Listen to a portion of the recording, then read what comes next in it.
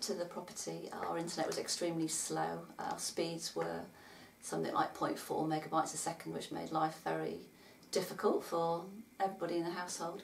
My husband is an airline pilot, so when we wanted to do things like FaceTime, Skype, that was always very difficult, lots of buffering and um, made the conversations almost not happen regularly. Now that we have a completely different system put in, uh, we have a, a, system that's called fibre to the home. Uh, that means that we actually have a fibre coming from outside straight into our property.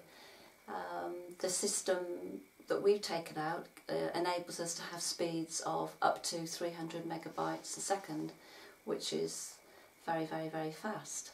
Uh, that's made life in the household a lot easier. I can talk to my husband on FaceTime and Skype with ease without any of the buffering or losing connection.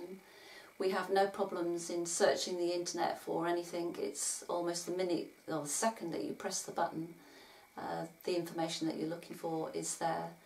Things like our Sky TV, which we now have uh, when I'm trying to catch up on four or five hours worth of episodes, they're downloaded in two or three minutes as opposed to several overnight sessions of trying to attempt it before we had the fibre to the home system.